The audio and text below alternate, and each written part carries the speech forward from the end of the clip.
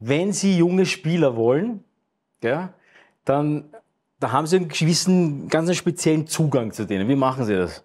Also wir, Sie haben ja dann, Sie führen ja dann Gespräche und, und ja, einen speziellen Zugang. Ich frage ihn ganz einfach, ob er äh, dickes Bankkonto wichtiger ist äh, wie Einsatzminuten. Und die Einsatzminuten okay. sind wesentlich mehr wert, äh, wenn man es dann in Summe aufaddiert, wie vielleicht der eine oder andere Hunderter oder Tausender mehr in der Bundesliga als irgendwo Reservist.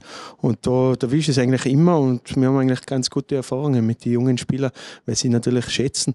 Wir sind ein kleiner Verein, haben jetzt nicht das Mörderbudget, aber wir können mit Einsatzminuten zahlen.